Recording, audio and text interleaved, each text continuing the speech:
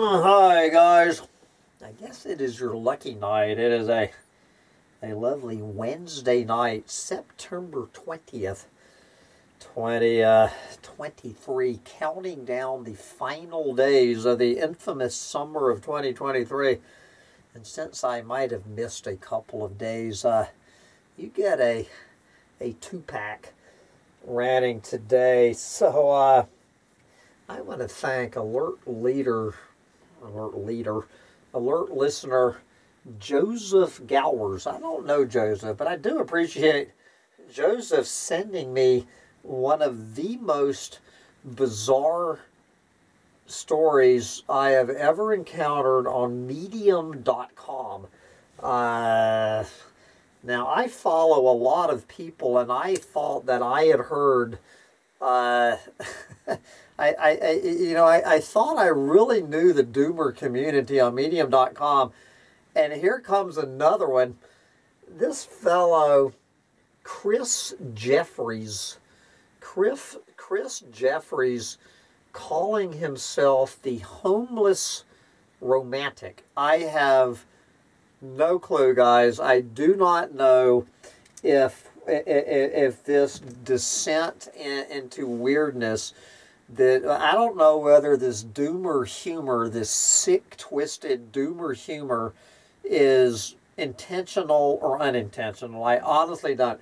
I, I do not know if this guy is a master satirist and, and black, uh, ironic humorist, or if he is, uh, or maybe he's eating, uh, not bath salts, trank. I, I, don't know.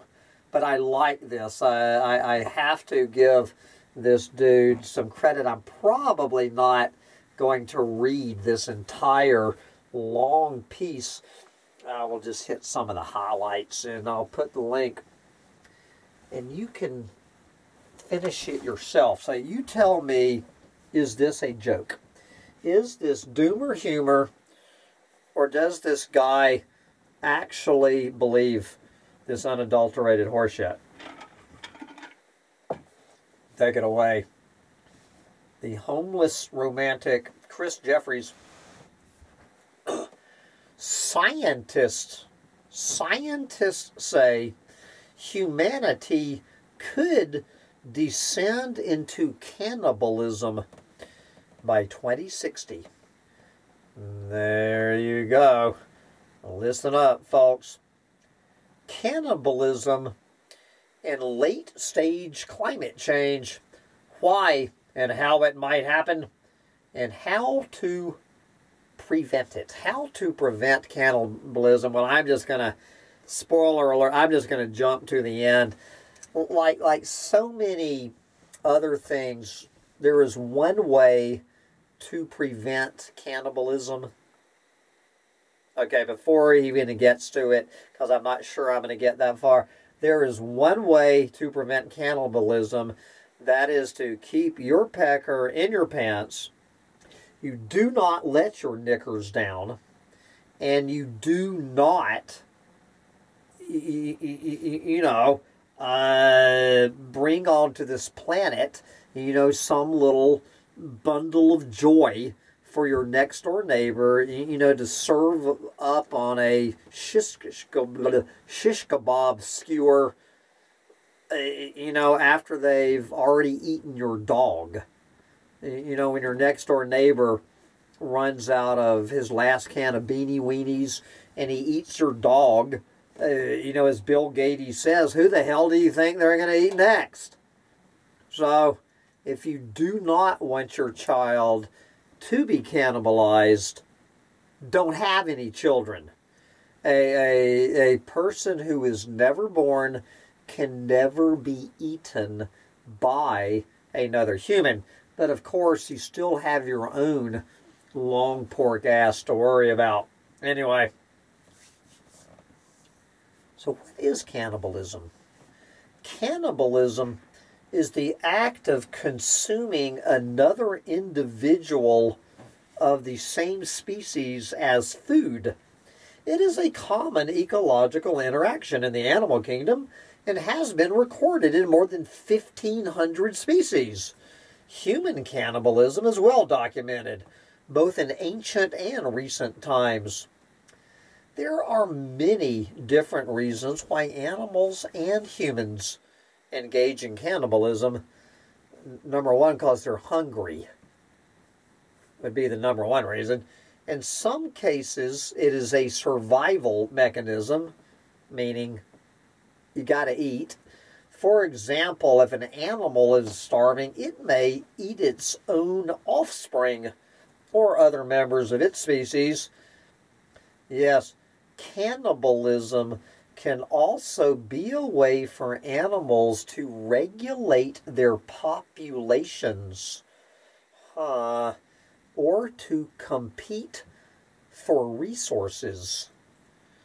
And there you go. Well, you know, we're looking for creative ways to uh, regulate our population. So let's just start eating each other. You know, if, if, if, if everybody on the planet, like 8 billion people, so if everybody just ate each other, would that mean 4 billion people? Okay, okay, well, I guess the first round. So everyone pick somebody and eat them tonight. So we'll have 4 billion people tomorrow. Okay, so then tomorrow night, the remaining 4 billion of us, if we just eat another human, we'll be down to 2 billion.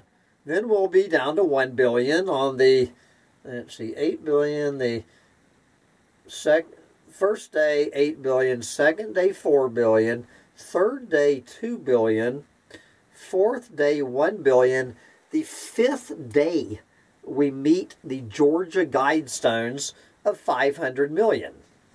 In five days, in five days, we could save this planet. If, if everybody would just eat another human each day in the next five days, the population of this planet would be 500 million people. And the Georgia Guidestones, uh, well, the former Georgia Guidestones, could uh, be our guiding light. Okay. Uh, speaking of cannibalism, uh, I think in no article is complete uh, with cannib- about cannibals than Hannibal the Cannibal. Uh, I love an article about cannibals. anyway. Okay. So in humans, cannibalism has been practiced for a variety of reasons, including survival. There you go. Human cannibalism has been documented in cases of extreme starvation, such as during famines or shipwrecks. Ritual, there you go. Uh, mental illness. Eh, be careful. Did you realize that some people with bipolar disorder some people with bipolar disorder may engage in cannibalism as a symptom of their illness. Now, there is a video out there somewhere of somebody who looks a lot like me sitting on a rock in the middle of a creek eating his mother's ashes. Literally dipping his finger and eating his mother's ashes. So there you go. So maybe some people with bipolar disorder uh, may engage in cannibalism. So if you know anybody with bipolar disorder, I would not go to their Airbnb. All right.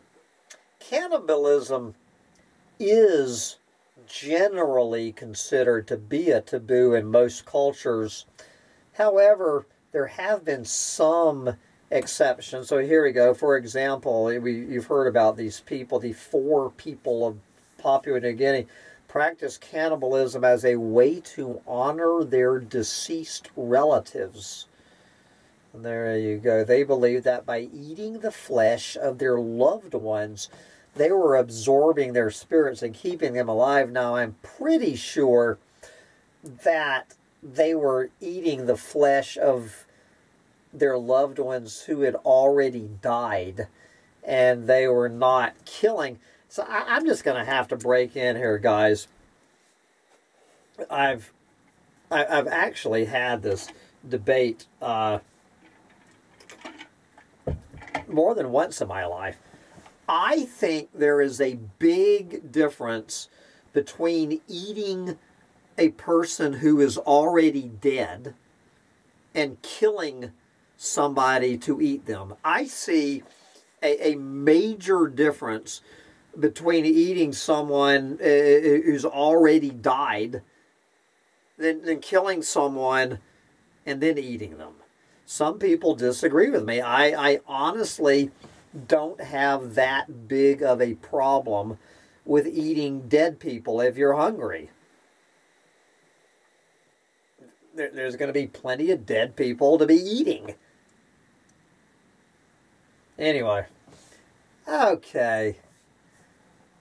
All right.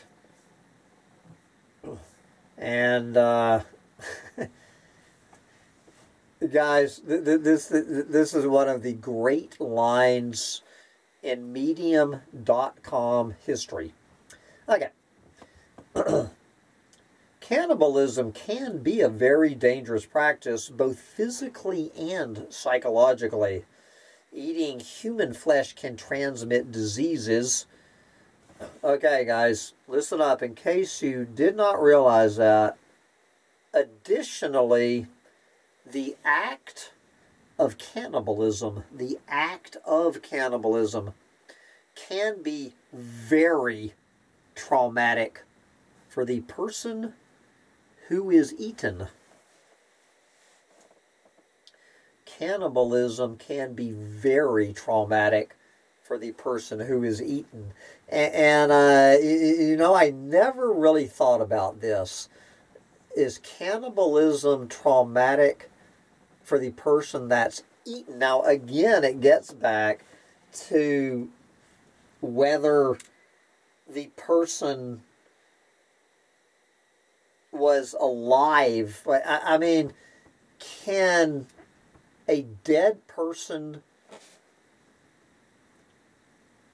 suffer trauma of being eaten by their fellow human? I mean, if you're, it, it kind of gets back to what I was just saying. I don't think that if you're already dead, that is that particularly traumatic to be being eaten. Uh, I, I honestly don't think a dead person is is going to be traumatic to a dead person to be eaten. I mean, wh wh why the hell do they care? Uh, now, again, it might be traumatic, you know, as I was saying earlier, to be killed for a live person to be killed by a cannibal. There is a difference uh, between a subtle difference being traumatized by being eaten or traumatized by being killed to be eaten. But it's not just traumatic for the person being eaten, it can also be very traumatic for the person who does the eating, according to the uh, homeless romantic. Uh, he sounds like he's speaking a little bit from experience here. Uh, I'm still waiting for what the scientists are talking about this happening by 2060. Uh, anyway, guys, this uh, this article just gets stranger and stranger, but then he gets into cannibalism in late stage climate change. There you go. Okay. So climate change, you know, just follow the dots. Follow the dots. Climate change is already having a devastating impact on food production and distribution around the world. And so in the future, it is, you know, climate change is likely to cause even more widespread and severe food shortages.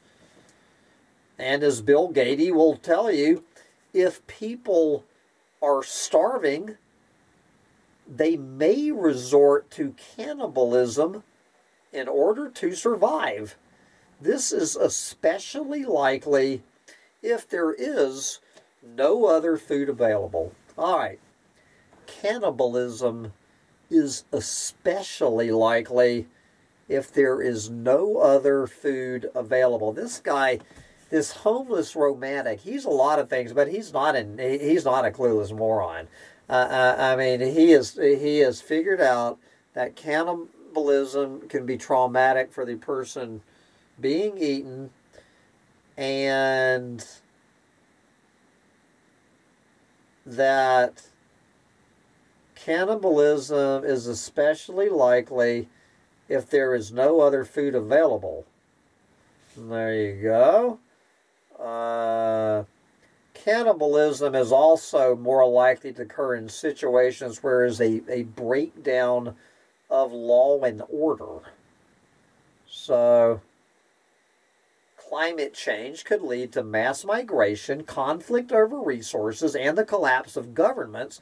And in these situations, people may be more likely to turn to cannibalism. There you go. Okay. So, uh, then he breaks it down how cannibalism might happen in late stage climate change uh, I'm not going to go into detail here. Well, food shortages, uh, mass migration, uh, collapse of governments. Uh, without a government to provide support and security, people may be more likely to turn to cannibalism. And we've already talked about uh, mental illness. So climate change could lead to an increase in mental illness. And so, as he just told you, people with bipolar disorder, there's a good chance they will eat you. So, I mean, this all makes perfect sense to me. I am still waiting for one. I, I have failed to see one footnote or link to any sort of scientist saying that humans will convert to cannibalism by 2060. So, how to prevent cannibalism and a late stage climate change dystopian future? There are a number of things that can be done to prevent cannibalism. There you go invest in sustainable agriculture, build strong social safety nets, promote peace and cooperation, address the root causes of can I'm sorry, the root causes of climate change. And don't forget provide mental health support so you know, people with bipolar disorder don't turn into cannibals. Okay, how about create and maintain food banks and other food assistance programs? Well, I don't know if Christopher has watched Soylent Green. I think uh, I, I think the idea of of creating and maintaining food banks and other food assistance programs uh, as this whole shit show comes down has already, you might want to tune in to Soylent Green to see how that would look like. I'm not sure this one's a good idea. Provide education and training on food preparation. Ah, uh, that could backfire. of course, promote sustainable food consumption practices. There you go. Support research and development of new agricultural technologies. It is important to note that there is no single solution to preventing cannibalism. But there most certainly is, and I already mentioned it to you, Christopher. It's never occurred to Christopher that there sure as shit is one single solution to preventing cannibalism and late stage climate change. It is the same thing to prevent uh, the sixth mass extinction, for instance. In case you missed it earlier, keep your pecker in your pants. Do not let your knickers down. Don't do it.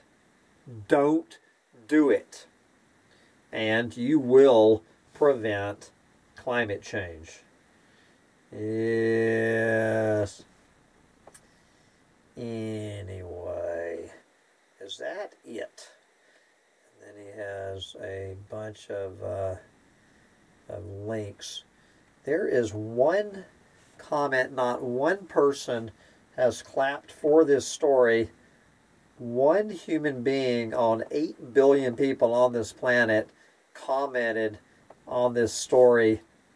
That would be Sam Mitchell at Collapse Chronicles and I think we've already heard this. First, uh, the quote, the act of cannibalism can be very traumatic for the person who is eaten. Who needs George Carlin or Bill Hicks anymore? This dude is a riot. How about this for a suggestion to prevent capitalism? Keep your pecker in your pants and don't let your knickers down so your little unborn bundle of joy will not be served up on a skewer to your next door neighbor when he gets to his last can of beanie weenies and he has already eaten your dog.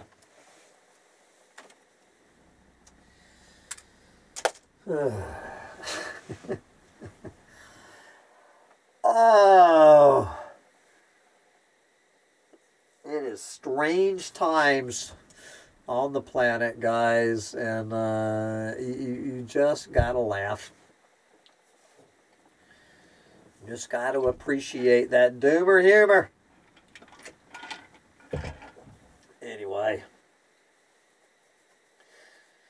I gotta go over to Netflix and catch up after my stressful week. So, uh, I guess in the morning I'm taking my dog to get his boil lanced. My Sancho has managed to get, uh, if you're familiar with this thing called burdock, and it's these little uh, nasty little sharp seed pods.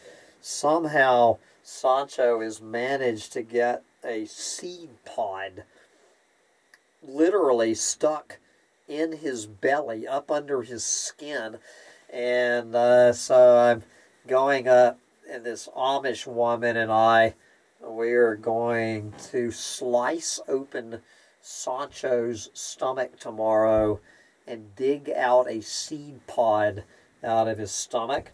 I get to look forward to that tomorrow, and then I get to go to my first doctor's appointment. The last time I was at a doctor, at least in the United States, 20 years ago to get my uh, my ears blown out.